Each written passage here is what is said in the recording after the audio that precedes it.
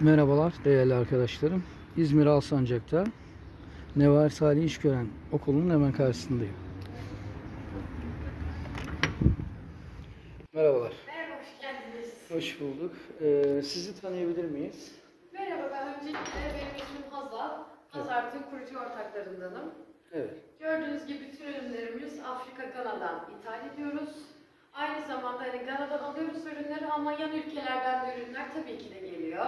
Kamerun olsun, Togo olsun, Benin olsun onlardan da ürünlerimiz mevcuttur.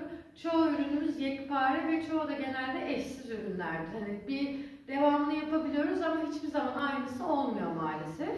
Ki bence bu sizin için artı bir şey diye düşünüyorum ben. Evet.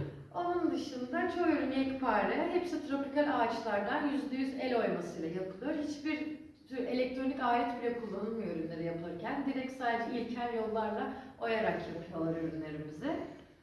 Evet. Ne kadar sürede mesela şöyle bir gergedan var diyelim. Yani böyle bir gergedanı 7 ayda ürettirebiliyoruz. Hı. Oradaki oturanlar yapıyor. Aynen Gel, öyle. halka Oradaki yapıyor. işçilerimiz yapıyor. Yapıyorlar. Şöyle bakabilir miyiz Tabii sizle ki, tabii ki birlikte? istediğiniz gibi bakabilirsiniz. Bunlar masa takımlarımız. Evet çok güzel, farklı. Aslında İzmir'de olmayan bir tarz. Kesinlikle.